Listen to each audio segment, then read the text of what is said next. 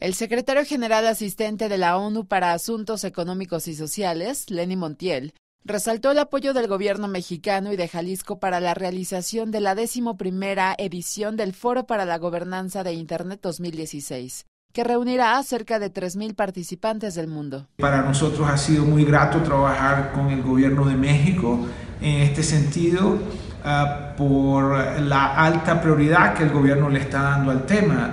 Montiel afirmó que es de vital importancia que este espacio se convierta en territorio internacional con temas como el papel de Internet en el desarrollo sostenible, crecimiento inclusivo y derechos humanos. Los, foros de gobernanza de Internet son espacios abiertos, libres, donde nadie viene a convencer a otro de nada, ni nadie trata de imponer nada, sino que es un espacio en donde todos vienen a intercambiar. El Foro para la Gobernanza de Internet es un espacio de diálogo convocado desde 2005 por la Asamblea General de la Organización de las Naciones Unidas. Naciones Unidas trabaja apoyando a los gobiernos y los gobiernos continúan liderando el trabajo de eh, prevenir el uso de Internet para fines eh, inapropiados.